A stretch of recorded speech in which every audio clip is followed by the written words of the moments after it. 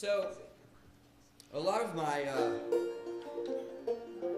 PTSD stems from something that I call moral injury, meaning that I've been morally injured by war. That means my soul has been dramatically affected by participating in the process of war.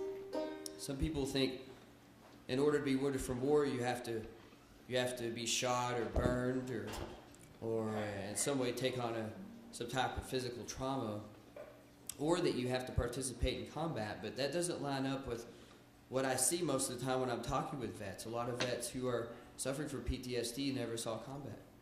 They never left the base. Heck, some of them never even left the United States and they still have PTSD. This song really comes from that experience.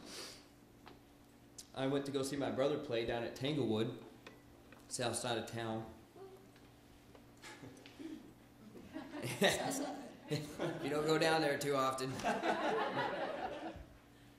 and uh, uh, Alan, isn't it mandolin player?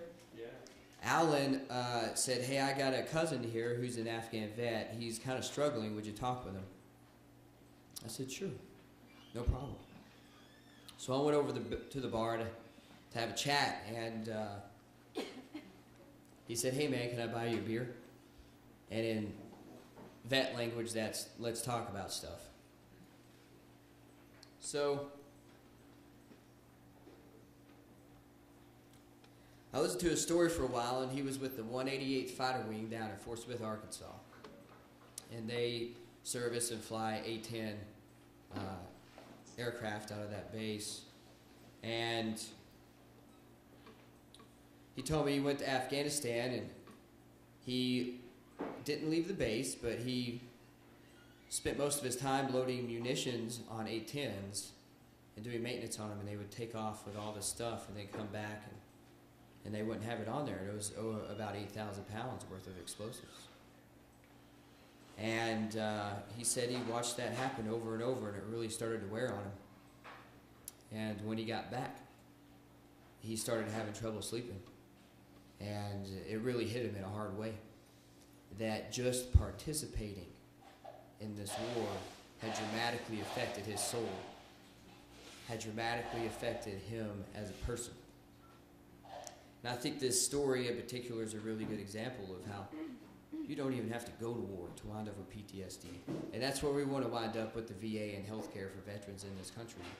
Because currently the VA doesn't like to, to acknowledge that you have war wounds unless you've actually been in combat. But the reality is just going through basic training can give you PTSD. Weaponizing the soul is what happens, and that could give you all kinds of issues. So this song is called The 188. It's about this guy's unit.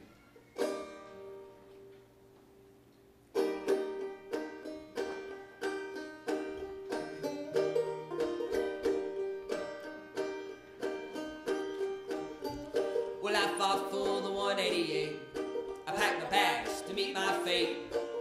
And off I went to pay my rent. I've been a patriot since I was eight.